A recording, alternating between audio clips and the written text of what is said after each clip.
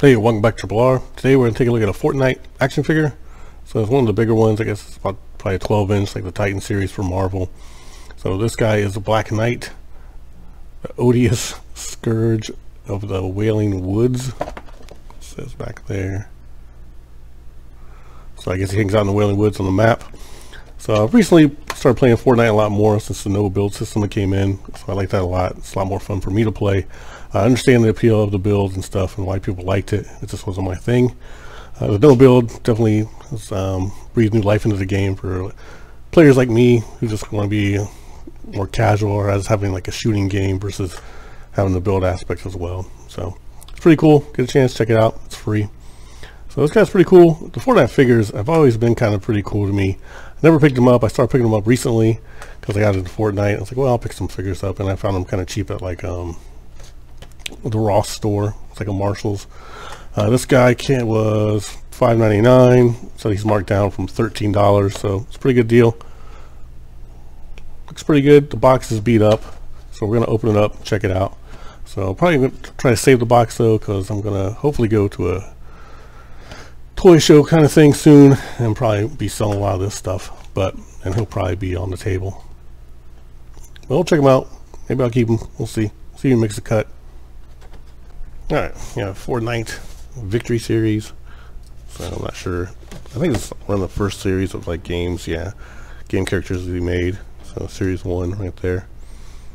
So you have Tomato Head uh, DJ Yonder Rust Lord Skull Trooper Cuddle team leader, and then Black Knight here.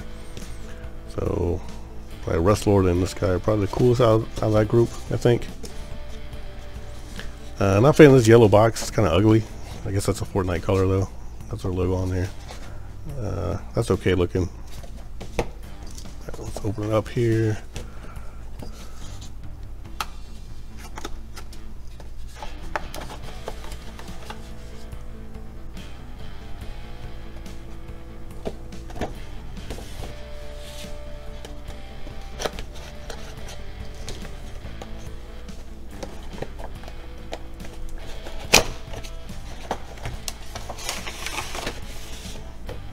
From the bottom. And uh, go ahead and cut them out, even though he may go on the, the resale list. We'll see. Oh, he looks better out of the package actually. A little more detail on his armor. And we got one more here.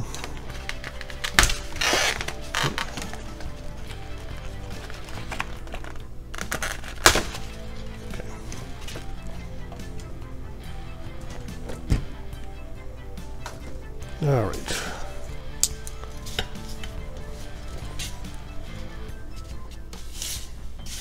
So standard articulation on these bigger characters, the arms.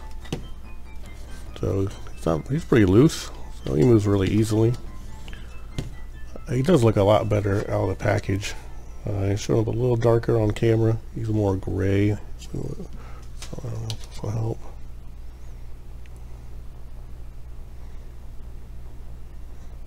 So it's gray and black and red. It's this color scheme.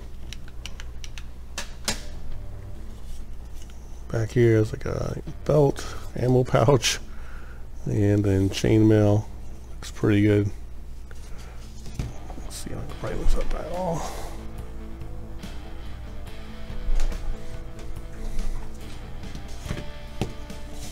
So the helmet looks good. Got some like battle scars on it. So, so just being a clean helmet. Um, guy is, I guess, knight symbol here. It's like a red splash. Two belts. Ammo there. Combat boots. Red bandana. Some red on the hands there. So it actually sits all the way down.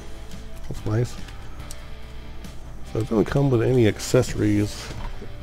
So kind of unfortunate. Probably at least give them like a pickaxe sword or something, you know, that would fit the knight theme of the character. But it looks pretty cool.